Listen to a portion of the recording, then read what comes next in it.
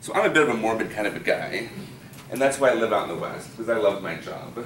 There's nothing better than wake up in the morning and you see a group of ruffians ride into the town, five, ten, even 15. It's even better when they have those bandanas on, because then you know some good stuff's gonna go down. Inevitably, they start shooting people, but people start shooting back, and business is booming. I love it. Um, it's, you get really interesting characters too. You get it's not all a bunch of you know Caucasians in the West. There's there's Chinamen, there's Mexicans, there's occasional German with those funny beards.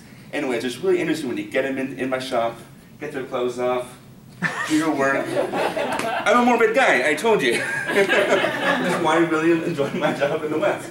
Um, it is hard to get payment though, that is the one issue, because the town, ain't that rich. And uh, who's going to pay the bill when the German ruffian gets shot?